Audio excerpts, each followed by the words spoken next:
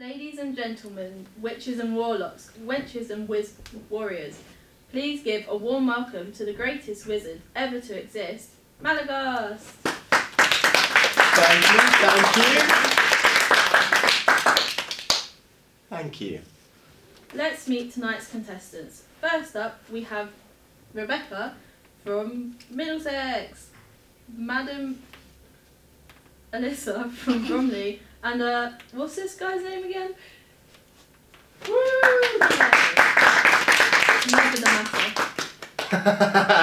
Isn't he a, a funny one? Anyhow, let's proceed with question number one.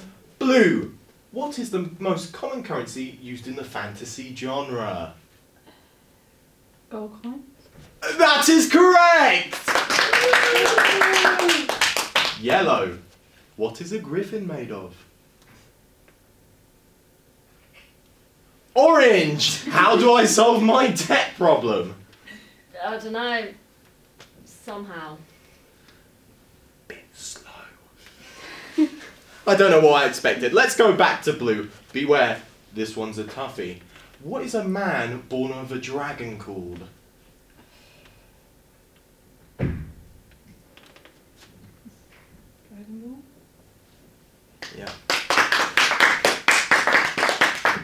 Just make sure none of you are dragonborn. Mm-hmm. Mm-hmm. Mm-hmm. Right, okay, good, good. Yellow, do you know what can shatter dragon scales? Orange, starting with an M, who is the most powerful wizard ever? Merlin. Fuck off! Congratulations, contestants! You have made it to the final round. It is imperative to the mission that you answer the next questions correctly. Blue.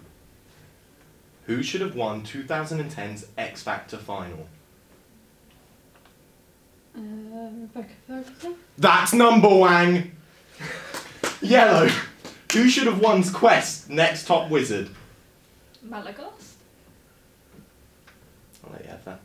And finally, orange. Sweet, sweet baby orange.